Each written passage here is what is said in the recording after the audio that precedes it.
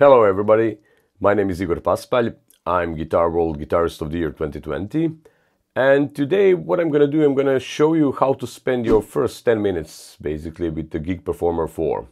So you purchased or get your Gig Performer 4, first thing when you launch it, how to spend your first 10-ish minutes, you know, exploring some stuff and learning just some basics. Uh, in this video related to guitar because I'm a guitar player. So yeah, we're gonna focus on you know some controls that guitar players using the most and some stuff that uh, probably guitar players are gonna be interested in the most. Okay, so without any further ado, okay, let's check this out. So we have my uh, screen here, and first time when you launch Gig Performer, you're gonna get this. So when you launch it, you're gonna get a, a, obviously choice of the beautifully made templates for all kind of instruments. Those templates are, are templates are made by good people from Deskew Technology, company that makes Gig Performer, of course. And I'm guitar player, I'm gonna first launch this one, which I actually particularly like. So it's electric guitar with Master FX template.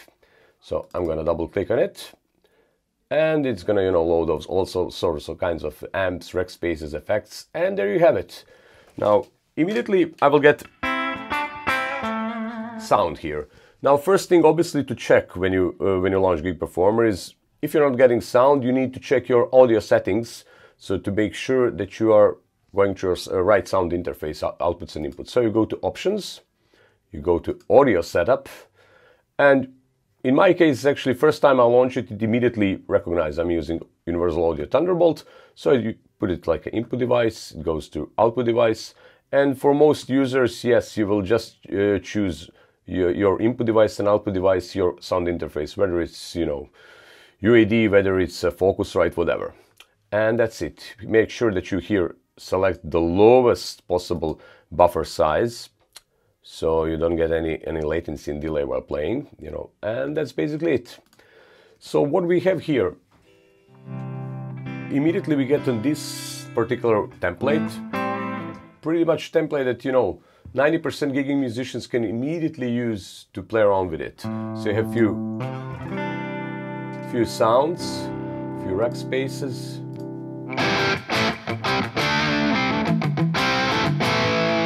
Especially I like this modern channel with the lead, which is beautiful.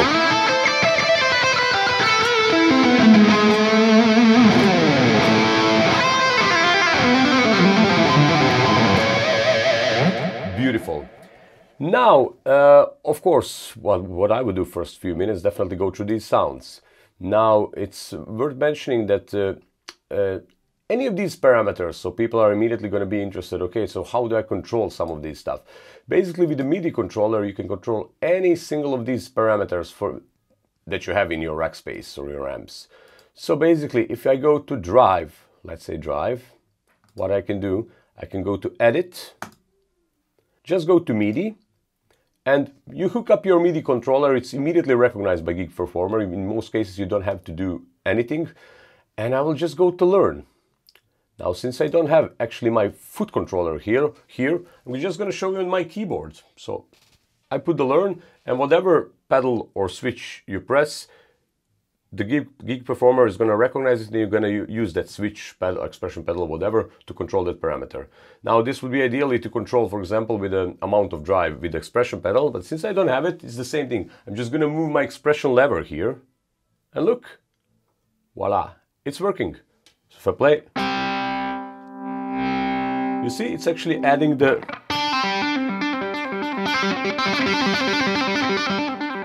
drive there. And that way you can literally control every single parameter here in the Gig Performer.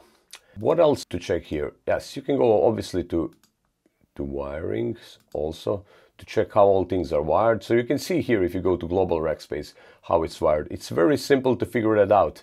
Uh, you go from channel 1, right? Which is basically where my guitar is plugged in in my audio interface. So basically this is your audio interface. It's just, you know, represented graphically. Channel 1, and I'm going to guitar input gain. It's already pre-wired here, so you don't have to worry about that, anything, at least in this first template. If you, for example, want to make your own template, your own setup and stuff, it's also very, very simple and super easy. You just go to New Gig. Okay, I'm not going to save the changes. So New Empty Gig. And here you go. here's your audio input, here's your audio output. Super simple. Right click and I'm gonna, for example, now choose the choose the tune uh, choose the uh, TH-U, uh, our Overloud, Overloud TH-U. Okay, perfect. Here's it. I'm just gonna take some, load some preset, whatever. And obviously I don't have any sound right now. So what do you need to do? You need to connect your guitar from the input. If it's in input one in, your audio interface, in my case it's input one and the microphone is input two, you can just connect it to the audio inputs of the TH-U and outputs to the audio outputs of your interface. And there you have it. Now, uh, next question would be probably, what if I want to use more than one uh, plugin or something like this? Very simple. You go to this plus sign, you add new rack space, and let's say in the next, you can even rename it, you know, like uh, whatever, let's say lead, first one was written, and you'll get another window. Now on this one, for example, I want to use the Neural DSP Petrucci, some other audio plugin, whatever plugin you use or whatever you own or whatever you choose. And here you go. Same process, I'm just gonna connect everything. And there you have it. One of the great things in Gig Performer is definitely how seamlessly you can switch between these rack spaces. So probably a lot of guitar players said, oh, what about, you know, the, the latency between switching presets or something, switching different plugins? There's absolutely none. So look, if you check this out.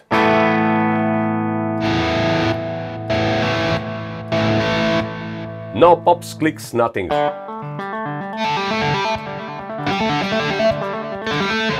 And that way you can add pretty much as much as rack spaces, as much as, you know, effects and stuff that you need. So it's very super simple to make your own simple uh, little setup.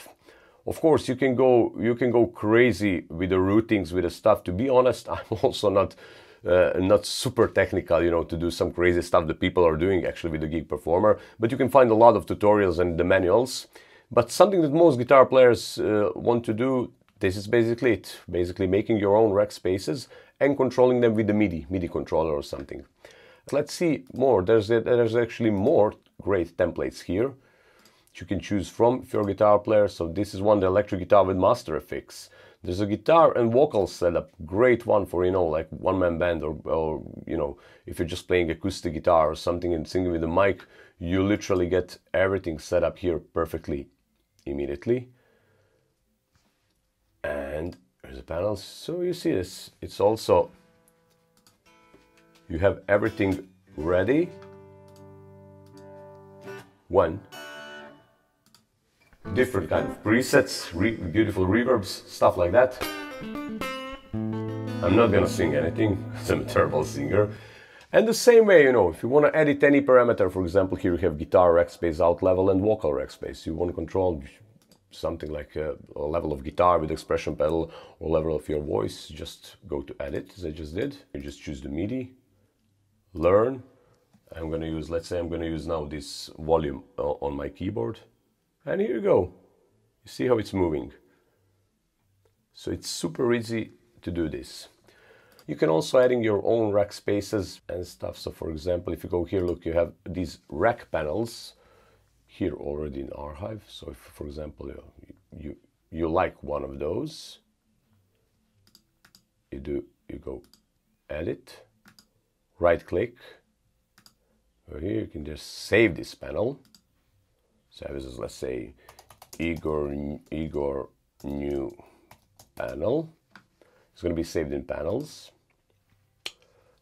And then you can just add it you see, you go to new rack space.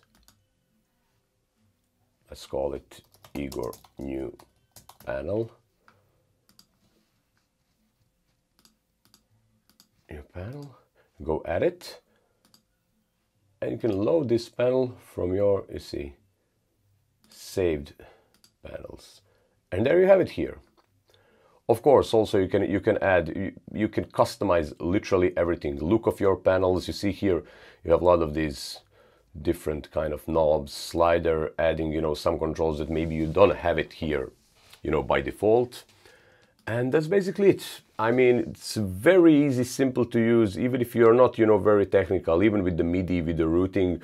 So it's basically, you know, when you go to, to panels and wiring, it's basically representing uh, your devices, your, your physical device, your sound card, your monitors, your, your uh, inputs and outputs, your rack spaces, your plugins as an amps, just in digital form. So it's simple as, you know, adding some stuff, you know, whatever it is, again, and just connecting, you know, little virtual cables in order to get the sound. So thank you for watching this video. I hope you like it. I hope you're gonna find some useful tips inside and see you next time. Bye.